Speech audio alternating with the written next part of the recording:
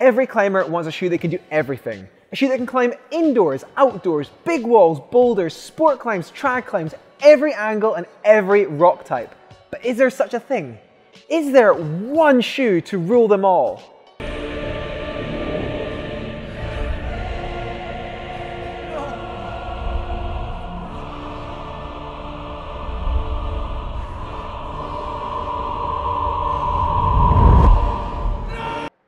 Course there isn't.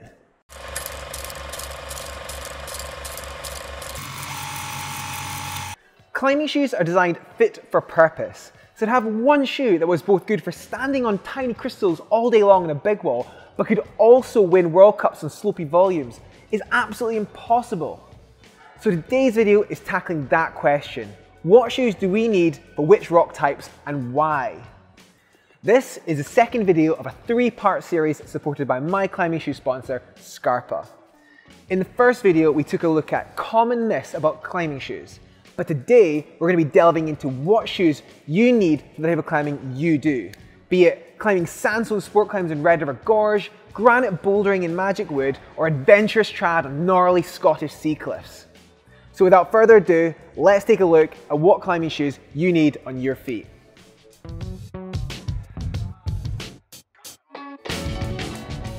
One of the most common misconceptions about climbing shoes is that all climbing shoes are designed specifically for the discipline. But that's complete bollocks. Climbing shoes are designed for the type of foothold you need to stand on. Think about it. Why does wearing a harness and being tied into a rope change the way your foot works on the climb? It doesn't. The problem is that very few climbers actually think that detailed as to what they're standing on. It's much easier to say they're a sport climber than to say they climb on sandstone edges on steep 30 degree overhanging cliffs. And because of this, climbing shoe manufacturers will make shoes and say they're a sport climbing shoe or a bouldering shoe or a trad shoe. But I've got news for you. I went indoor climbing in my pair of Maestros, marketed as a trad and big wall shoe, and I liked it. You rebel scum. I also went big walling in a pair of Magos, and I didn't like it. Stupid fat hobbit. It ruins it. If we want to get the most out of our climbing shoes, it's important that we understand this key concept that climbing shoes are designed for footholds and then identify when we go climbing what it is that we're standing on. From there, we can then move on to choosing the right climbing shoes for us. Robbie, does that mean we need to bring every type of climbing shoe in case we come across a certain foothold? That seems a little bit crazy. No, of course not.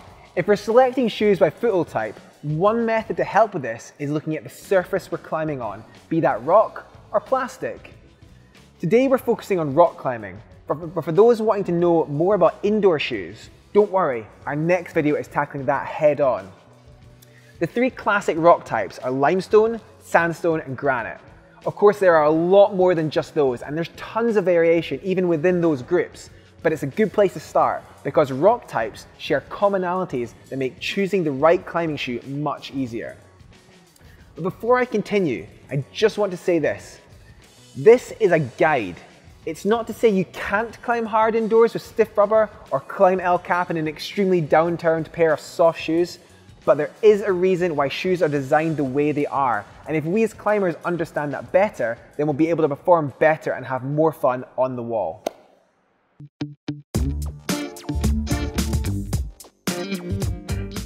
Now limestone is probably the most common rock type in Europe, and it's mostly sport climbing, although there are pockets of limestone bouldering dotted about.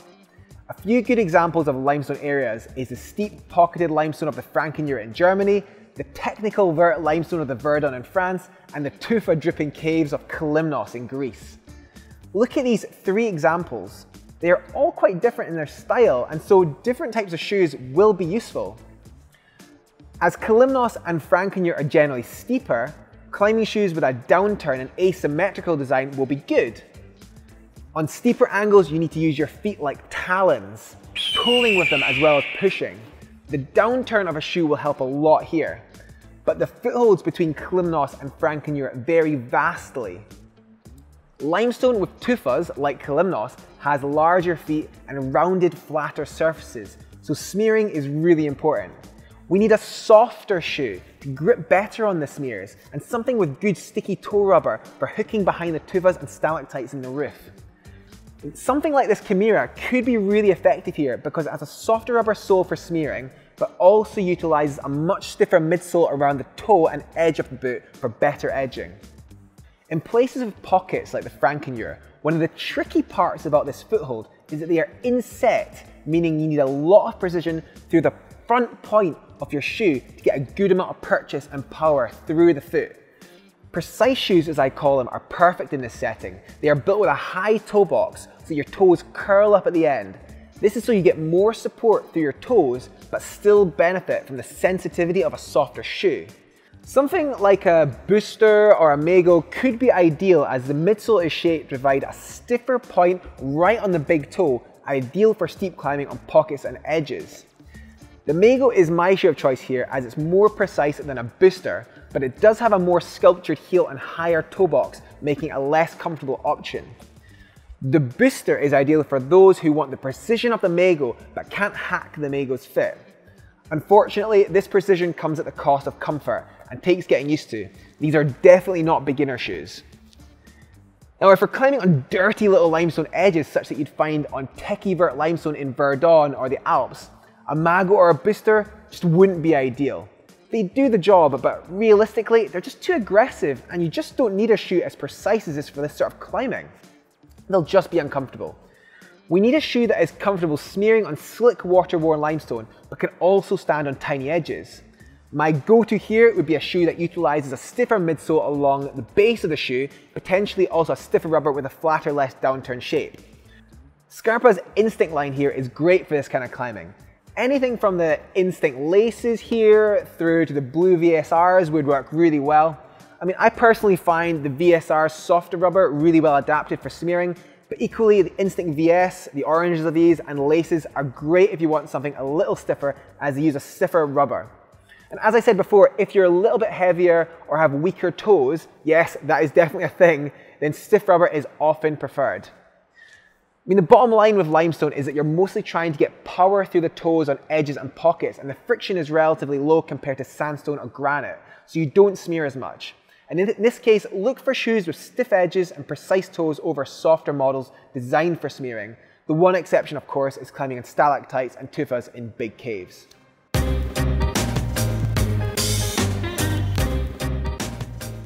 Now sandstone is a much softer rock and generally forms a much more aesthetic and curved shape than limestone. Now this means generally more slopers for your hands and your feet, which of course means more friction required. When we need friction, soft rubber with a malleable midsole is what we need. But even sandstone can come in varying styles.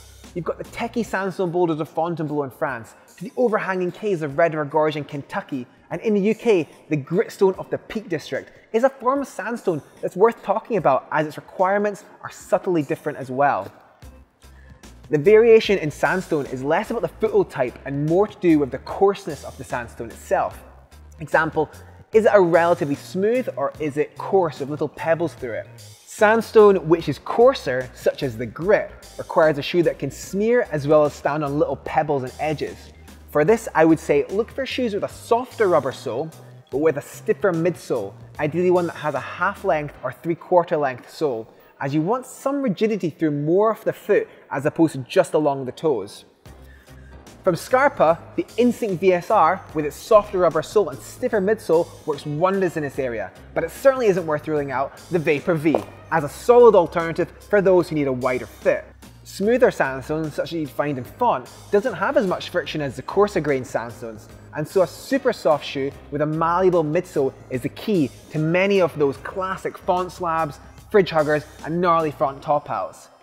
To be frank, you need more than just a soft shoe. You also need one with tons of sticky rubber around the toe and forefoot to get grip in a wider array of foot angles. Climbing hard boulders on sandstone isn't just about standing on smears, it's about wrapping your toes around sloping arêtes, torquing out of roofs, and generally just using your feet in many weird and wonderful ways that without would make climbing some of these boulders impossible. I mean, I'd be looking for something like the Drago or the Chimera. Both of them use super sticky M50 rubber all over the front toe part here for extra grip, but the Chimera has marginally stiffer midsole for added precision.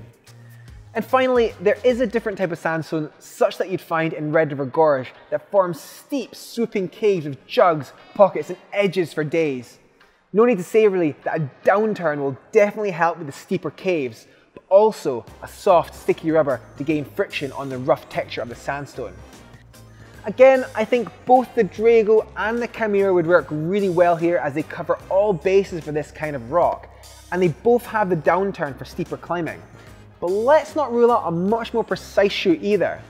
The booster here is built with the same soft rubber as a Drago, but has a much stiffer midsole focusing power to the front of the toe. For this reason, you can be sure to get both friction and power when you need it.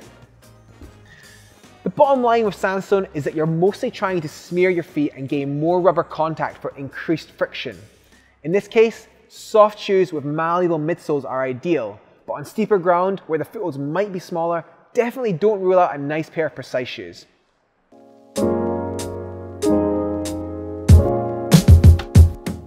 And granite, the hardiest of hard rock types that exist. From the glacier polished walls of El Capitan to the harsh crystalline granite of Val di Mello in Italy. I think you'll agree with me, granite climbing varies a lot. But irrespective of that, granite still remains a really high friction rock type, meaning it's sticky as anything. If you were to zoom in with a powerful microscope, a piece of granite would essentially look like billions of little sharp crystals sticking up, ready to pierce whatever it touches, be that your fingertips or some sticky rubber. The cool thing about climbing on granite though is its duality. You need to be able to both stand on sharp edges and crystals, but also smear up a smooth slab. Now the shoe you want for climbing on granite has to be an all-rounder. Something that can edge as well as smear. Does this exist? Well, you can't have the best of both worlds, but you can get pretty close. The ultimate shoe I found for bouldering and sport climbing on granite in the Scarpa range is probably the Instinct VS. The stiff rubber and midsole provide all that you need for standing on crystals and edges, but it has a flexible 3 quarter length midsole for smearing and more adaptability on different angles of walls. Now certainly on steeper boulders, such that you'd find in Magic Wood or steep sport climbing in Flatanger, you may find that soft rubber is better for getting more purchase on smears and rounded edges. Now in a perfect world you would have an extra pair of soft shoes with you, but this isn't the most affordable option short term. With performance in mind, however, it's ideal because for the moments when you need something super soft, you'll have them ready. I mean, I usually always have a pair of Dragos or Chimeras with me just for such occasions as I love the super soft M50 toe rubber for extra torquing in the overhangs. But when we talk about granite, we can't miss out the granite climbing mecca that is Yosemite. It's here you have to deal with small granite edges and crystals as well as slick glacier polished slabs and corners. Now you may have remembered me saying earlier that climbing shoes are designed for footholds. That is true, but there is one exception to this big wall and trad climbing. For these disciplines, it's not only about what you're standing on, but how long you're standing on them for, because comfort becomes a huge issue when you're standing on small granite edges for hours and shoving your feet into cracks day after day. It doesn't matter how much better that shoe is if it's so unbearably painful that you throw it away in anger after pitch three. So the type of shoes that are good for big walls tend to be flatter, less asymmetric shoes with really rigid midsoles and stiff rubber. All of this is to provide support and comfort to your feet, so you only have to worry about getting to the top and not that your feet will fall off by pitch 13. Now without a doubt, the most popular shoe used on Yosemite big walls is the La Sportiva TC Pro. It's one of the most uncompromisingly stiff shoes out there. The Scarpa alternative is the Maestro and Maestro Mid. Now the Maestro Mid is slightly stiffer and has a high ankle protection for when you're shoving your feet into cracks. But I personally prefer the less stiff Maestro as it's not quite as rigid as the Maestro Mid, provides enough support in your toe for really hard edging, as well as a good amount of flex for the technical laybacks and smearing that you often find on hard granite pitches.